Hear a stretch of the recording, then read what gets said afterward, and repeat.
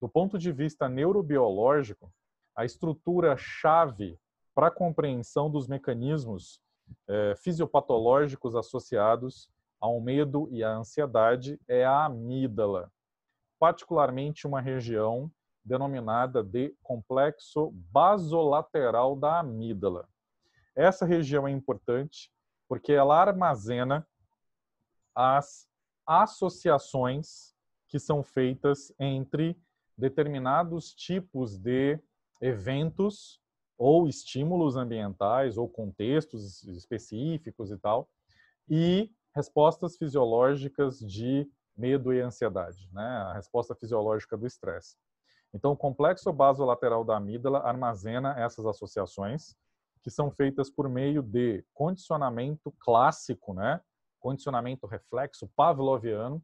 Então, o complexo basolateral da amígdala, ele armazena essas aquilo que eu chamei, né, de representações neurais das associações com o ambiente. Essas representações neurais se situam no complexo basolateral da amígdala.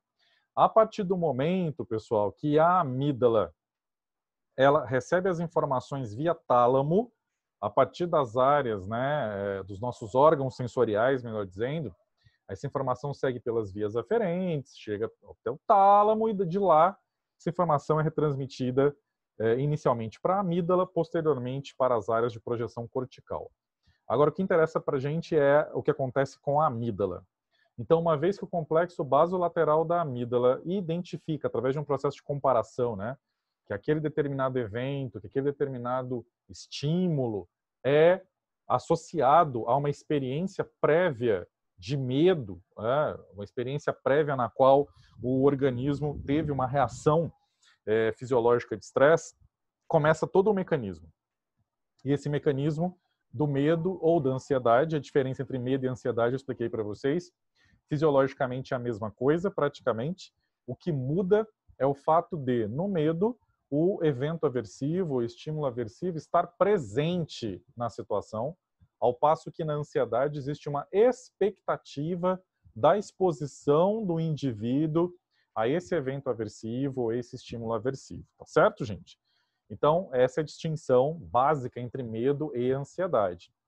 Então, a amígdala, uma vez ativada, ela vai coordenar três respostas diferentes, não é?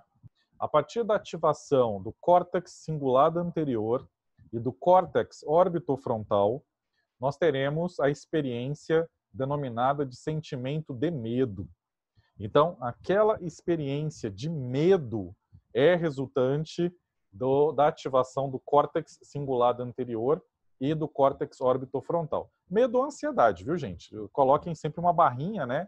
Medo barra ansiedade. É, por, por outro lado, a amígdala também vai ativar o eixo hipotálamo, hipófise e adrenais, e teremos a partir daí a resposta, a chamada resposta endócrina de medo e ou ansiedade, que resulta na secreção de cortisol e daí toda a resposta fisiológica do estresse associada.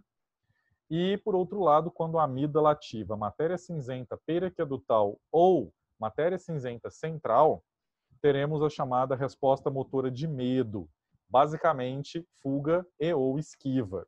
A fuga, no caso específico, não é, da presença do evento aversivo, do estímulo aversivo, e a esquiva quando existe a expectativa de que a pessoa entre em contato com aquela situação temerosa, né, em relação à qual ela tem medo, em relação à qual estabeleceu-se uma associação com algo aversivo.